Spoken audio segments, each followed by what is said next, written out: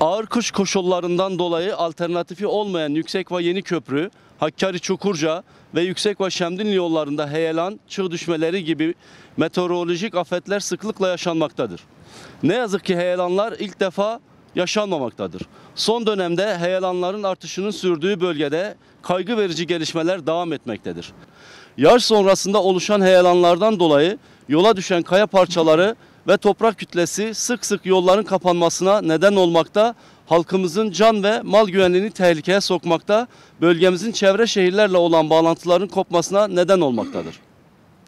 Kente gelen tek yol olan Hakkari-Van karayolunda sık sık heyelan yaşanması, heyelandan sonra karayolunun ulaşıma saatlerce kapalı olması, olası deprem deprem felaketinde yolun tahribatından dolayı deprem yardımları, arama kurtarma çalışmaları için gerekli olan teknik ve insani yardımın nasıl ulaşılacağı halk içerisinde kaygıya ve tedirginliğe neden olmuştur. Belediyelerin, kurumların deprem kriz masalarını oluştur, oluşturmadığı, ilgili kurumların deprem için afet öncesi ve sonrası net planlarının görülmediği, acil eylem planlarının belirlemiş olmayışının yanında kente gelen alternatifi olmayan tek karayolun olası depremde oluşacak zeminde sıvılaşma ve titreşimden dolayı oluşacak kütle hareketinden dolayı karayolunun kapanması riski hayati önem taşımaktadır.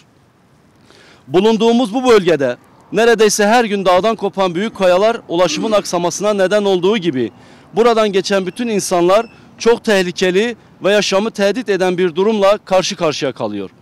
İnsanlar insanlar bu yoldan geçerken adeta ölümle burun buruna kalıyor. Çevre illere tek bağlantı yolu olan bu yol güzergahında Yüksekova, Şemdinli ve Derecik ilçeleriyle uluslararası İran'a bağlantı Esendere ve Irak'a bağlantılı Derecik sınır kapıları da bulunmaktadır.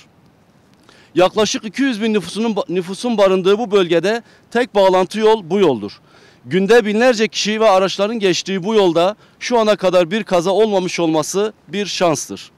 Onun için herhangi ölümlü bir kaza yaşanmadan ilgililerin bir an evvel gerekli önlemleri alması hayati önem taşır. Daha önceden Yüksekova'dan, Şemdinli'den, Derecik'ten sevk edilen birçok hastamız ulaşım sorundan kaynaklı hayatlarını kaybetmiştir. Bugünlerde sık sık yaşanan heyelanlardan kaynaklı saatlerce hatta bazen günlerce aksayan ulaşımda acil bir hastanın sevk durumunda sonucunu söylemek bile istemiyoruz. Halkın can ve mal güvenliğini korumak, güvenli seyahat etmesini sağlamak devletin birinci sorumluluklarındandır.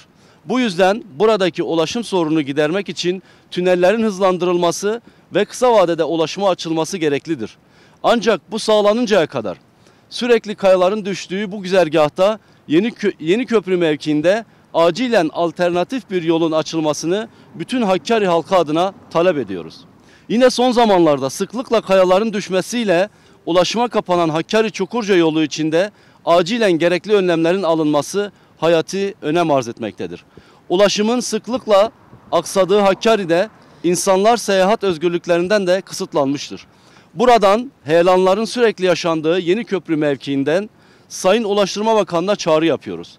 Hakkari Çukurca ve Yüksekva yeni köprü yoluna heyelanların düşmesiyle insanların can ve mal güvenliğinin olmadığını, günlük yaşamdan insanların ticaretine kadar olumsuz etkilendiğini hatırlatarak hızlıca önlemlerin alınmasını gerektiğini belirtiriz.